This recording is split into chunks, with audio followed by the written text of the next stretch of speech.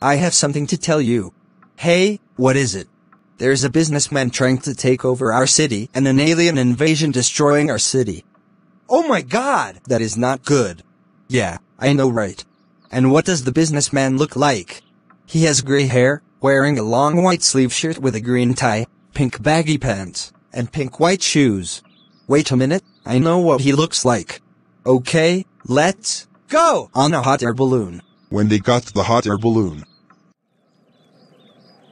Alright then, let's get on.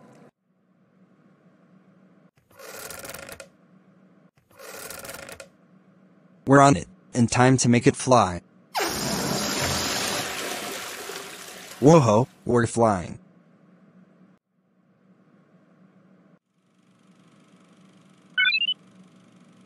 What, Ben and Samir are coming to my airship, just to save the city? No.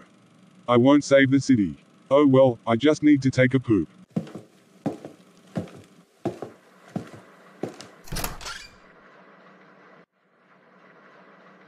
It's time to poop. Ah, that's better.